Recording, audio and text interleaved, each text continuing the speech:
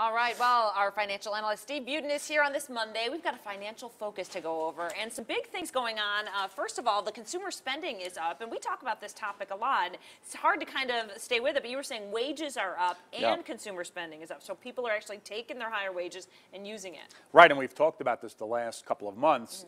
Uh, the, the trends have been for folks who are working, the wages have been creeping up a little bit. The unemployment issue is a whole other thing, but those with jobs are actually seeing some pay increases. The $64,000 question was what would they do with that money? Would they save it or spend it? And the last couple of months, you're seeing some really strong spending numbers. Now, that's really the one thing that can keep the U.S. economy uh, growing versus going into recession because two thirds of our economy is consumer spending. The other third is the government, and the government we know is basically dysfunctional at this point. So we really need the consumer to step up and, and spend money to keep the economy moving forward. Well, I'm glad that wages are up. That's a good thing, right? I figured you'd like to know that. yeah, yeah, like absolutely. do we all get wage increases? Does that mean, or is it factored in? Fine with me. Yeah, but that's good stuff. Okay, Yeah. and McCarran traffic is up too, and Yeah. the airport, you know, it's been interesting. It, it- it's it's always busy. Yes. But it seems to slightly go up and down year to year. Now, are we talking month to month or year to year? Yeah, this is the month of July, but the Okay. month of July was about uh, north of 5% greater than it was the prior July. What was really nice about this report, in my opinion, was remember in July we had a lot of that Southwest Airlines Mm-hmm. issue where uh, folks were having their flights canceled. Right. So the fact that the Oh, yeah. air, the, the traffic was that strong with our number one servicer slow is really good for Vegas. And we know July really would be the slowest month of the year. And to have that traffic really up is, is great. This is a really strong report for Vegas. Yeah, it does seem like it has been busy in Las Vegas, and Yeah. the airport is always the indicator of how many people are in and out. Um, and then we've got the international flights too, and the extra terminal. So is the extra terminal maybe is possibly helped as well? Yeah, the international uh, traffic, Yeah. I think, made up for a lot of the, the weakness that Southwest showed. But doesn't matter where they're coming from for the most part. They're coming through the gates, they're coming through the airport, hopefully spending a lot of money. All right, that's a good sign. Okay, and then the last thing that is a hot topic right now and literally today is the stadium debate. Let's talk about that. What Yes. kind of impact? I mean, everyone's like, know. you know, if I hear one more time, well, then you pay for it if you want it, you know, and all that. I mean, it's getting Yeah. kind of nasty. And I, I stay out of the politics with all of this, as, Yeah. as you guys know. I try to focus on the numbers and the business side of it. Who's paying?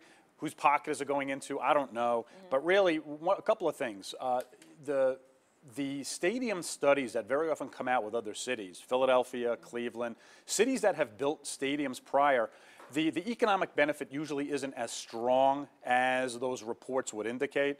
But I think a city like Vegas is, is very different because later in the year, uh, my research was showing a lot of the bigger conventions are earlier in the year. So during the, the second half of the year where the, the traffic seems to slow up a little bit, the stadium really could pay some dividends. Mm-hmm. Now again, I'm not worried about who's paying for it. That's for the, the politicians to decide. But I think from a business standpoint, if they're talking about floating a, a, a small room fee, I think thing I was looking at over the weekend was less than a dollar a night. For less than a dollar a night, if you can get this thing built and have folks who might be leaving early Sunday morning stay behind, watch an NFL game before they travel back, whether they attend the game or not, you might keep people in Vegas a little bit longer than they would before they'd get in their car and drive back to California. To me, I think it makes a lot of sense. Yeah. But I'd be very, uh, I'd be very concerned about studies that would come out and say it's going to generate this much economic traffic, because it usually doesn't pan out that way. Right. I mean, that's always the thing. It's like, do the projections, it's like, do, do the projections really turn out to be Right. exactly what we thought? I mean, we can project as much as we want, but who knows how everyone's feeling if they want to go buy a ticket or not, you know, at that time. And nobody, nobody, you know, these are projections. Nobody Mm-hmm. knows specifically what's going to happen. And not that they're being deceitful, just that until you have the data from the building being built, it's Mm-hmm. you're making an enormous gamble putting up a $1.9 billion stadium and then, hey, did it work or not? Yeah. But I, I think the pluses far outweigh the minuses. Yeah. Well, it's interesting because uh, Jon Ralston and I were talking about how you know the T-Mobile Arena, you know, Yeah. it's privately funded. It just Yeah. seems so much easier. We didn't have Oh, to do all that. Who's going to pay for Right. it? We already knew MGM, you know, International was going to pay for it. so. Anytime the government gets in, involved, you know, there's more delay and more, Mm-hmm. you know, back and forth. But I'll leave the politics to Ralston. I know. We won't get involved in that Yeah. one. All right. Well, stay with us. Thanks, Steve. Sure. We'll be right back after this with another look at Greg's forecast.